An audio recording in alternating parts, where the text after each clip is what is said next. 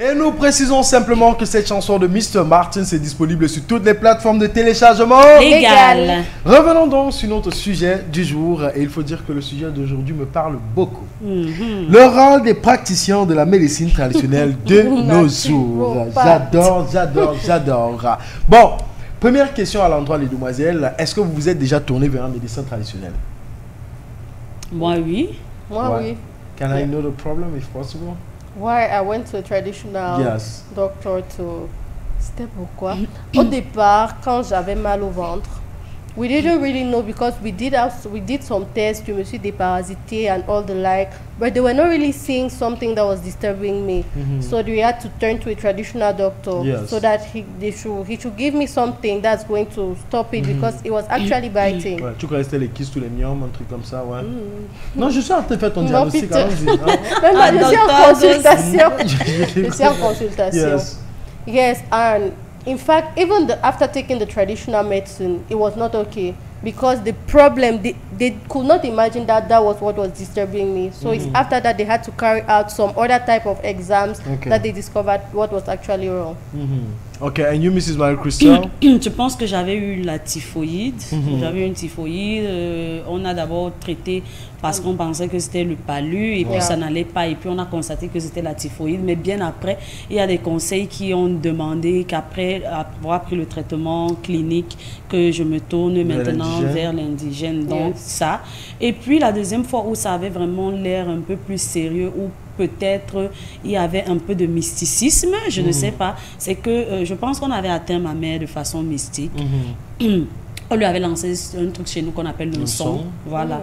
Et donc, euh, apparemment, ça n'aime pas les médicaments. C'est comme si, en fait, le degré qu'on lui avait envoyé, là, les Bassa vont reconnaître, on appelle ça le gagno. Le Ok. degré qu'on lui avait envoyé là n'aime pas. Au fur et à mesure que tu prends les médicaments, Ton état se Bien plus dégrade. ça se détériore. Donc, du coup, on a dû faire recours à un médecin traditionnel qui trouvait que il fallait euh, qu'il la soigne et qu'il soigne aussi ses enfants parce que si elle, on a pu l'atteindre, peut-être on pourrait passer par les- ses enfants aussi. D'accord. Bon, maintenant, euh, qu'en dites-vous de l'efficacité de ces médecins traditionnels. Est-ce qu'ils sont vraiment fiables à 100%, 50% ou 25% La médecine traditionnelle doit d'abord être une sorte de don avant d'être, euh, euh, je sais pas, j'ai envie de dire comme un emploi. C'est que ça, ça, ça doit aller de pair en fait. C'est-à-dire que ton grand-père soignait. héritage, Oui, et toi et aussi, puis on on t'initie, donne on ça. te donne la main et puis tu soignes. Dans ce cas, tu vas vraiment voir que la médecine traditionnelle a son efficacité. oui. Mais quand c'est le genre comme pour Peter aussi, où tu cherches ton business, tu cherches ton argent, il est fort probable que les résultats attendus ne soient pas toujours. On m'a euh, donné ceux- la main, hein. Alors, ne soient pas toujours ce qu'on espère. Ouais. Parce que euh, le, le- le médecin traditionnel devrait se baser sur le docteur généraliste. Ouais. À partir des résultats du docteur généraliste, que le médecin traditionnel va te dire que bon, toi tu vas prendre ci ou ça. Mais Yeah. parfois, toi tu arrives avec un truc même où peut-être euh, il n'a même vraiment pas grand-chose à te dire, mais il te dit seulement parce qu'il est en train de vendre. Et tu vas te rendre compte que le fait de, de, de, de prendre trop de médicaments traditionnels t'apporte d'autres problèmes parce que ton organisme n'est pas apte ou n'est pas prêt à accepter tout ce que c'est en train de recevoir. Surtout que la façon dont on garde les médicaments traditionnels est délicate. On va te donner un- une bouteille, on te dit que bois ça matin et soir peut-être pendant 5 jours. Toi, tu arrives comme c'est amer, tu prolonges, tu bois pendant 7 jours, alors que peut-être le truc est déjà gâté. L'histoire est déjà en train de, de pourrir et tu ne sais pas et tu continues de boire et ça te cause d'autres D'autres problèmes. problèmes. Mais en termes d'efficacité, quand tu tombes sur quelqu'un qui sait vraiment manipuler les herbes, je pense que c'est super efficace. Ok, and Moi, you, je Mrs. pense. Alvin To me, I would say it's very effective. It's true I don't often go to them, but it's very effective because sometimes you have an illness that the hospital does not even find a solution, but you go to such people once they are really gifted. That is something that is meant for them. Not something that you just went explained to you. They told you that if somebody has this, this, and then if it's meant to be yours, si c'est un don qu'on donné ou quelqu'un dans ta famille avec ça, avec euh, euh, ce don-là, then it's going to be very effective. But nowadays we found people, find people who they just go to, they explain to you some kind of stuff. You just make some concoctions, you sell it to people. You don't actually know what, because sometimes those medicines are given to you. They, they consider the period, the time at which those medicines are given to you. They consider uh, whether the moon is out. In fact, it's it entails so many things. Yes, when they really have to treat something that is more than the hospital, especially when it's kind of when it's kind of mystic they need to consider some so many elements the day at which they administer the treatment and all the like but you go to one tradi practitioner that is not actually his thing. They just explain the situation to you. He give you what the person asked him to give you but you don't really find the result. Mm-hmm. To me it's very effective but it has to be gifted. It has to be inborn. It mm-hmm. has to be for you. Yes. Now, today we have the modern uh, uh, medical treatment, Yeah. and we have the traditional one, and they go by pair because you have the decision either you go for traditional one or you go for the modern one. Do you think they have to cohabitate? That means, do they go together? Do you need to go to the hospital first, do exams before you come to the traditional doctors and let them treat you, or you go to the traditional doctors, start something over there, Eh, or is it something that has to go by its side? to me you can't it, it cannot go side by side in the sense where you you visit a, you go to a clinic they give you some drugs and then you go to the traditional uh, doctor and then he give you some concoctions. You can't mm. take both at the same time. The ideal situation is being is for you to go to the hospital. They do the test and then you bring the result to the traditional practitioner. Mm-hmm. And from that he'll better know what to give to you. Mm-hmm. Because it's not really easy. There are some illnesses that from the look there are some illnesses they will look at the the color of your urine they can detect if it is this or that but some illnesses that they really need to carry out some tests before they know what is actually disturbing you because on for my own case for example I urinated, I gave him some of my physics and all the like, and mm-hmm. based on that, he gave me some drugs which did not actually cure me. Mm-hmm. Be- you need the hospital because the hospital, their own, the results of their exam has more precision. Those devices they have, it permits them to know the exact thing that's disturbing you. Then from there, you bring it to the traditional doctor, and then from he gives you a treatment that's going to go in line with that. D'accord. You share the same opinion, Mrs. Marie-Christophe? Oui, forcément. Tu vois, forcément, mais on, on va dire c'est en fonction de la maladie, c'est Yeah. en fonction de, de ce que tu traverses. Ouais. Mais forcément, je l'ai dit en début que euh, pour qu'un médecin traditionnel, un tradipraticien te prenne en charge, il a d'abord besoin des résultats cliniques. C'est à, la- à la fonction des résultats cliniques qu'effectivement, il sait euh, ce qu'il doit te donner. Et il doit savoir interpréter Les les, résultats, cliniques. Parce Voilà. que s'il ne sait pas interpréter ça, euh, il ne peut pas imaginer ce qu'il va te donner. C'est parce qu'on va lui dire peut-être que, que ton taux de sang est à 2% ou à 8%, qu'il sait quelle quantité de bouteilles euh, te donner peut-être pour que ton sang remonte euh, À la normale. à la normale. Donc je pense que les deux peuvent Bon, aller maintenant, moi, je vais dire, euh, les, les, les- comment dire, les situations qui requièrent une intervention chirurgicale. Mhm. Comment est-ce qu'un médecin traditionnel peut arriver à gérer ça? Bah, je pense que euh, ils ont des, des, des, des, des compositions. Je- J'ai souvent entendu parler des gens qui souffrent des myomes, fibromes, kystes, machin. Vous savez que c'est un peu ce qui est vulgaire là. Yes. Et puis le, le tradit praticien va te dire que chez moi on n'a pas besoin de t'opérer. Yeah. Tu bois 15 bidons de ça. Ça sort puis ça. ça Ça, sort. voilà. Donc, il peut-être, maintenant, tu vas peut-être me dire que si c'est une maladie cardiaque, est-ce que le tradit praticien, je pense que chaque maladie a, euh, comment on, on appelle ça, a sa, sa, sa, sa technique de, de, thérapie. Oui. Donc, on ne va pas dire que toutes les maladies se soignent chez le tradit praticien comme toutes les maladies se soignent à la médecine moderne. Il y a des limites euh, qu'on rencontre chez toutes les, dans toutes les formes de médecine. Si c'est qu'un n'a pas pu faire, l'autre peut venir en complément ou l'autre peut ne servir à rien complètement. Donc, du coup, euh, il ne faut pas que quelqu'un se fixe, se base seulement et se dise que non, comme pour faire la quinine, on utilise le quinquiliba. Moi, je reste dans la médecine traditionnelle parce qu'ils utilisent les plantes pour non. Il y a des limites forcément dans le cas des, des, des opé- interventions chirurgicales, dans le cas de, de, de, de, quoi, beaucoup de choses. C'est-à-dire que si on a besoin de te faire un scanner ou autre, le, le, le, le, le, ce n'est pas pas le fait de te palper comme ça qui va va- donner oui. exactement la situation ou l'état de tes poumons. Tu as forcément besoin de l'autre côté et besoin de lui pour compléter. D'accord. En tout cas, à la maison aussi 57, 56, 41, 65. Quelle est votre expérience avec un médecin ou un praticien de médecine traditionnelle? Et n'oubliez pas, si ça s'est bien passé, précisez-le. Si ça s'est mal passé, précisez-le également. Maintenant, une autre, euh, peut-être la dernière question. Pourquoi est-ce que les tradis praticiens aujourd'hui sont plus spécialisés dans le traitement des maladies sexuelles De naturaux, oui. oui. Pourquoi ils sont spécialisés dans le traitement Plus, parce qu'ils ouais, traitent d'autres choses. Il y a plusieurs autres thérapies, comme Mrs. Marie l'a dit. Mais aujourd'hui, on, on se rend compte que quand ils font leur pub, c'est plus des trucs sexuels, Yes. short piece, euh, euh, euh, hépatite, euh, those type of illnesses. Why? To me, I would say that it's because that's what is rampant.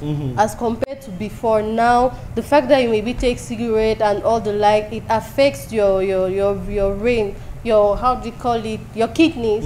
Yes, it affects that. So, in fact, youths and even parents are more engaged in such stuff.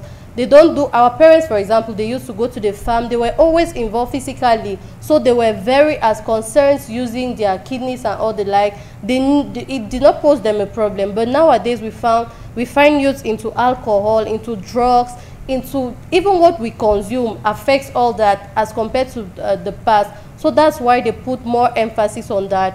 And now these uh, uh, traditional tradi practitioners, they know they have already they got into the business, so they know they need money, and they know that that's what many people suffer from. So that's why they target such uh, illnesses because they know they'll have many clients in return. Beaucoup de personnes ont les, les, les problèmes sexuels et tout ça, et ils savent que pour un homme par exemple c'est très gênant. Donc ils mettent l'accent sur ça pour que ça leur apporte plus de clients en fait. Et comparé à avant, comme je l'ai dit, nos parents avant n'avaient pas beaucoup ces problèmes-là comme maintenant. Nos modes, nos habitudes au quotidien, l'alcool, notre façon, de, les aliments que nous consommons et tout ça, ça détériore, ça, dé- euh, euh, ça dégage, ça dérange ces parties-là, les reins, tout ce qu'on utilise en ce qui concerne la sexualité. C'est pourquoi ces personnes-là, ils mettent l'accent sur ça. Mhm, D'accord. Moi, je pense que c'est c'est parce que euh, euh, il, faut d'abord euh, que le patient se sente rassuré. Tu vois un peu, chez les, chez les, comment on appelle ça, en médecine moderne, c'est tellement d'étapes. Et alors que le patient est pressé du résultat. Et si tu vas arriver, on va te dire qu'il faut d'abord faire le spermographe, après il faut faire le retrait, après il faut faire le retro, machin, machin. C'est-à-dire qu'on te donne une série d'examens. C'est après cette série d'examens-là qu'on commence à te donner maintenant le traitement Qui va qui va avec. admettre un certain temps. Alors que chez le type, si quand toi tu arrives et tu lui dis qu'à peine c'est monté, c'est descendu, lui il a compris. Il prend seulement la bouteille, il te donne. Et généralement, dans la médecine traditionnelle, les, les, les, les- effets sont presque immédiats. C'est-à-dire que si tu pars parce que tu as un palud, dès qu'on te donne un verre de Minji Menzon, te voici en train de transpirer. Alors que quand c'est le malacu que tu prends, il faut que tu prennes le traitement premier jour. C'est à partir du deuxième jour que tu commences à voir comment tu fais. Alors que de ce côté, c'est que là, là, là, avant que tu ne sortes de chez lui, tu es déjà en train de... Donc je pense que les gens ont besoin de cette célérité-là. Ils ont besoin de la rapidité. Ils ont besoin de quelque chose qui agisse à l'instant. Du coup, comme beaucoup de gens ont des problèmes de, de faiblesse sexuelle, ça fait d'abord qu'ils ne montent pas et descendent dans les trucs des examens où tout le monde va aller savoir que je suis en train de faire le spermographe et ceci. Ça garde déjà son intimité et il a la possibilité de voir son problème être résolu aussi rapidement qu'il n'espérait. D'accord. Merci à vous les demoiselles. Donc pour sortir, vous conseillez aux personnes de plus aller on one side, c'est-à-dire la médecine moderne ou la médecine traditionnelle. Pardon, envoyez-moi les clients. Moi, je, je, je, je ne conseille euh, pas de... Je conseille la médecine. C'est-à-dire Ouais. que quand tu es malade, Où tu cherche trouves à te la santé, yes. soigner. Ne sois seulement pas désordonné dans ce que tu fais. Parce que parfois aussi, il y a des gens qui le font. Pendant qu'ils prennent les remèdes ici, ils prennent les remèdes. Finalement, on ne sait même pas ce qu'on te soigne, on ne sait même pas ce qui t'a soigné. Yes. Parce qu'il y a tout un mélange de trucs. Essaye d'être posé dans les tes soins et puis tu dois te rendre compte toi-même que quand j'avais pris ceci, je me suis sentie comme ça et quand j'ai ajouté la l'autre, médicale. oui, et quand j'ai ajouté l'autre, ça a été euh, de telle autre façon. D'accord. And you, Mrs. Orvin? Me, I will, I will not advise any of the two, but we should know that both have their advantages and disadvantages. That's great. For example, you take drugs, drugs that are prescribed in the hospital, and then you start having problems with your heart and all the like. Because we know those products, they don't only use back of trees, they mix it with chemicals. And we know in the long run, taking such uh, uh, drugs is going to affect your health. That's giving you another illness. And as concerns these practitioners, what they give you to, they have their, down, their downfall to, the, the bad side of it. Because they will give you, for example, if you don't do, you don't do a test, an exam that, that reveals actually what you're suffering from, you come to him, he in based on his own notions, he gives you a drug that does not actually cure the illness you have in you. It can create something different to, or, or lead to the eruption of another disease in your body. So both of them, they are nice, they are appropriate, they cure, but it depends on the illness. And it's better to start in the hospital and then you end in the, with the practitioners. D'accord. Merci à toi, Mrs. Alvin Daniela. En tout cas, les amis, vos réactions aussi 57, 56, 41, 65. On va prendre la réponse du jour sur la, la, la, réponse de la question du jour proposée par Mrs. Barry-Christelle. Quelle différence faites-vous entre impôts et taxes? Bravo à tous ceux qui ont répondu aussi 57, 56, 41, 65. Let's have the reply, Mrs. Barry-Christelle. Alors, pour avoir une légère définition de la taxe, on va dire qu'elle est liée à une prestation de service spécifique rendue par un organisme de service public.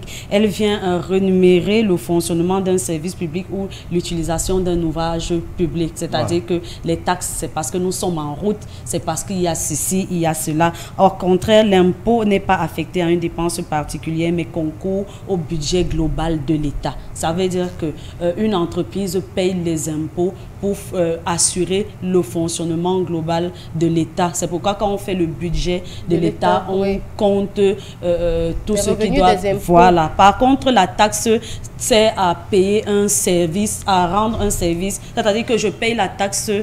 Quand je paye le taxi, par exemple, il y a des taxes parce qu'il faut que nos routes soient permettent à la circulation. Tu vois un peu, ça n'entre pas dans le, budget global de, l'État, ça rend un service à l'instant qui est public. Donc la différence fondamentale entre l'imposition et la taxation du contribuable est la contrepartie. L'impôt est un prélèvement pécuniaire obligatoire dont le paiement n'implique pas de contrepartie. Par contre, la taxe aussi est un prélèvement financier, mais les fonds récoltés servent au fonctionnement et à l'utilisation d'un service public. Ok.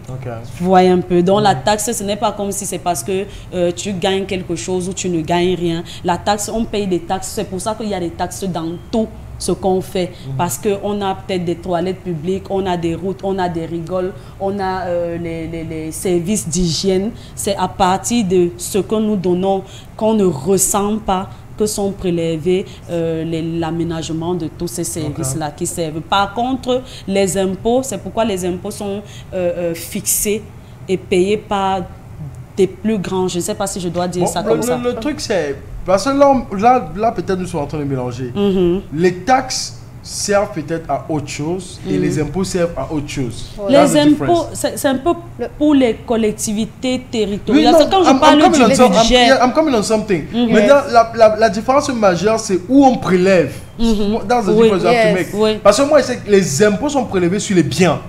Ok? Mm. Ça veut dire ce que tu gagnes, tes revenus, ça c'est Ça veut dire quoi? Quand tu as une structure qui est déclarée et reconnue, tu payes des, impôts, tu ne payes pas des mm-hmm. taxes. Par contre, moi qui vais payer euh, un produit dans une boutique, je paye des taxes. Pourquoi? Parce que là où je vais payer ça, c'est sur un espace public et il faut rendre cet il faut mm-hmm. aménager cet espace-là pour que vous vous soyez. Mm-hmm. Tu comprends mieux? Tu comprends maintenant? Donc, Et maintenant, les impôts partent pour le fonctionnement de l'État. Et maintenant, les, les, taxes partent pour, le, le, développement du pays. C'est ça? Un service euh, quelconque, c'est-à-dire le développement du pays. Mais ça peut être la route, ça peut être l'achat des poubelles mm. dans des, des, zones, ça peut être, ça peut être. D'accord. En tout cas, merci à toi, Mrs. Marie-Christelle. C'est ça le Morning Show. Chaque jour, on vient, on regarde, on apprend. On se donne donc rendez-vous demain, mercredi, pour un autre 10h, 12h, car 10h, 12h. C'est notre heure. à tous ceux qui vont maintenant recevoir le bisou Sabrina Tik. Bye bye and see you tomorrow.